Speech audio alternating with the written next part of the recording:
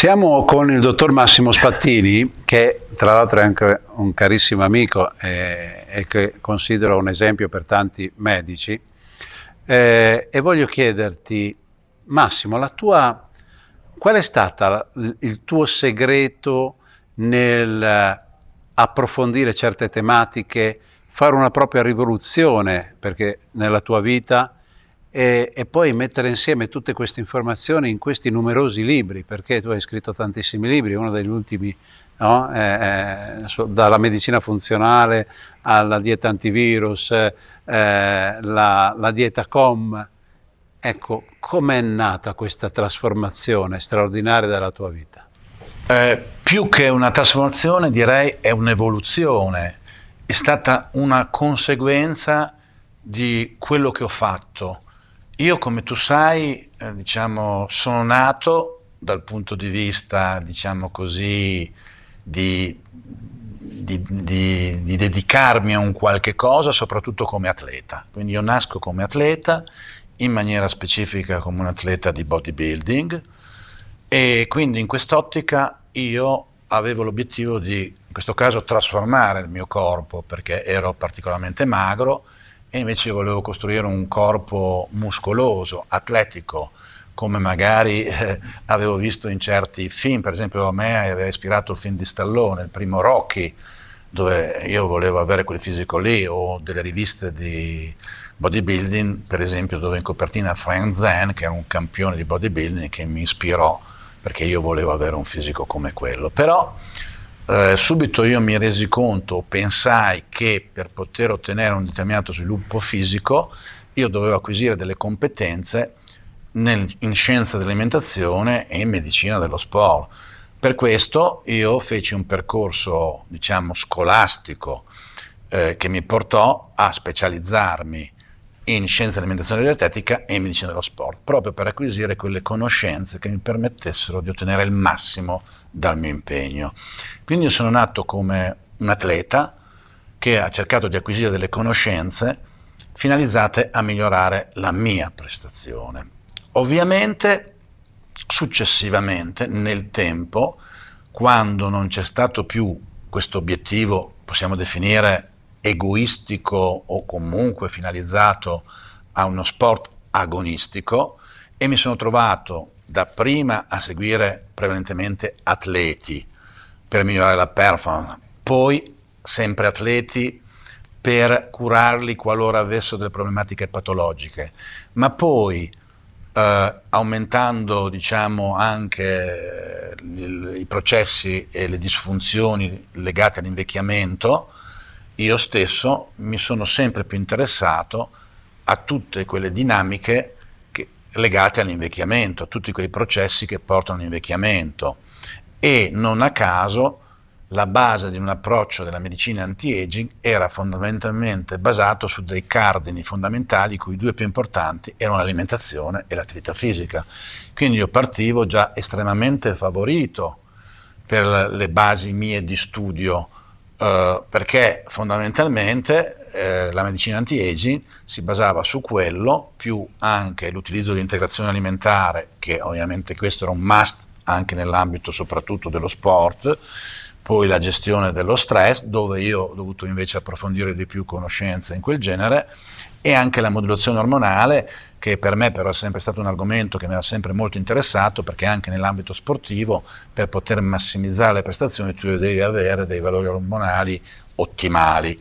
Quindi a quel punto io avevo già quelle basi che mi servivano per fare quel salto verso una medicina di prevenzione, verso una medicina finalizzata al mantenimento ancora prima che al raggiungimento della salute con gli stili di vita, quindi con l'alimentazione, l'attività fisica, l'integrazione alimentare, le metodologie antistress e appunto la modulazione ormonale.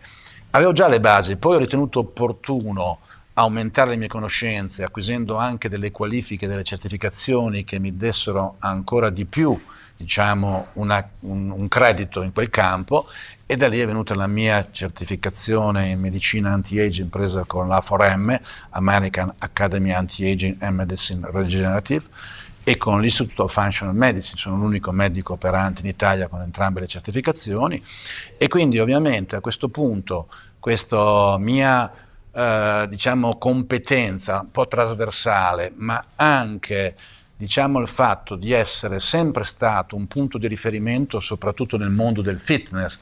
dove io rappresentavo un po' una punta di diamante, no? in quanto eh, contraddicevo quei luoghi comuni come tutto muscoli e niente cervello, no? e quindi io rappresentavo per il mondo del fitness un emblema, un qualcosa al quale tutti si potevano aspirare e, e fare riferimento. E se però all'inizio questo fatto di essere forse un bodybuilder ancora prima che un medico mi aveva creato un po' di problemi nell'ambito della comunità medico-scientifica, progressivamente ovviamente mio, eh, la mia crescita nell'ambito più medico, cioè con la medicina anti-aging, con la medicina funzionale, avendo poi scritto certi libri come guida alla medicina funzionale, mi ha dato un credito anche nel mondo medico, quindi nell'ambito dei medici, e veramente oggi sono molto contento, cioè mi fa molto piacere perché vedo che io ho un seguito molto trasversale, cioè mi seguono atleti, mi seguono persone del mondo del fitness, delle palestre, giovani biologi nutrizionisti che mi vedono come un punto di riferimento, vorrebbero fare il mio percorso, ma anche tanti medici, tanti medici che vedo, mi seguono, leggono i miei libri e ti dirò oggi tanti medici anche che mi chiamano perché vogliono essere seguiti da me dal punto di vista medico, perché magari si rendono conto di come un approccio di questo genere sia fondamentale per ottimizzare lo stato di salute, loro, ma sono dei medici anche loro, magari sono anche più esperti di altri, perché se già hanno capito questo vuol dire che hanno già approfondito certi argomenti, ma capiscono che per ottimizzare è forse meglio far, eh, appoggiarsi a chi questa cosa la pratica già da decenni e usa anche strumentazioni come l'S-Drive e tanti altri test che permettono di pensare. Quindi la mia trasformazione in realtà è stata un'evoluzione legata a un mio processo naturale di, mi dispia- mi, non mi piace dire di invecchiamento, ma ovvio che col passare degli anni cambia. Sì, ma una trasformazione. No, io non mi rit- eh. non è giusto trasformazione, perché io evoluzione, evoluzione, una, un'evoluzione, una crescita, una crescita. Io, esatto, perché io assolutamente non rinnego nulla di quello che ho fatto prima, io ancora amo definirmi sono un bodybuilder, eh, perché io continuo a allenarmi tutti i giorni, faccio un certo tipo di alimentazione, cerco cerco di mantenere ovviamente una massa muscolare di un certo tipo, non può essere certo più quella che avevo a 30 anni, ma nell'ottica anche di quello che io predico, l'attività fisica, mantenere la muscolatura perché il muscolo ha un effetto protettivo anche a livello eh, della, della, densità ossea, della produzione di citochine antinfiammatorie, prevenzione appunto della sarcopenia, tutta un, una serie di effetti positivi che si ottengono con l'allenamento e col mantenimento della massa muscolare e quindi io cerco di praticare dedicando abbastanza tempo della mia vita anche alla pratica di tutte quelle metodologie che io tendo a predicare e a descrivere in tutti i miei libri, che sono libri di alimentazione, di metodologie di allenamento, di medicina e soprattutto il principio base che, mi, che è ah, sempre presente in tutto quello che io divulgo e scrivo è la personalizzazione dell'intervento. E di fatto il mio ultimo libro, che è La dieta com e diagramento localizzato, parla di un approccio nutrizionale basato su differenti biotipi che si distinguono sulla base di una morfologia dell'individuo che permette un intervento personalizzato e tagliato su misura su un individuo, perché la medicina di precisione non può essere una medicina che dà soluzioni uguali per tutti, ma deve essere una medicina che deve essere appunto tarata sulla persona. Quindi quello è il messaggio che io do sempre, do concetti di base che senz'altro possono essere in parte generalizzati, do informazioni, do conoscenze, ma poi dopo tramite anche l'utilizzo di un'anamnesi, di una valutazione soggettiva, di test specifici che ti permettono di andare a vedere com'è la situazione, che vanno al di là del semplice esame del sangue, che ovviamente anche quello va fatto, per, con l'esame del sangue però vediamo solo certe cose, poi vediamo una situazione dinamica che è proprio del momento, mentre un test come l'S-Drive permette di vedere una valutazione valutando appunto il capello, che è quello della cellula, che esprime una situazione del momento, ma non estemporaneo, di qualche mese, insomma, e quindi ti permette poi di intervenire modulandola e poi facendo delle verifiche dopo aver fatto gli opportuni interventi, magari ogni tre mesi, proprio per pian piano riequilibrare il discorso. Quindi diciamo che tu dici qual è il tuo segreto. No, il mio segreto è in realtà uno che potrebbe sembrare non, non, vero, perché uno magari che non mi conosce può pensare che io mi dia forse qualche delle arie, che mi, no, in realtà io non ho una bassa autostima, perché sarebbe stupido dire che io ho una bassa autostima, però io non mi considero assolutamente arrivato.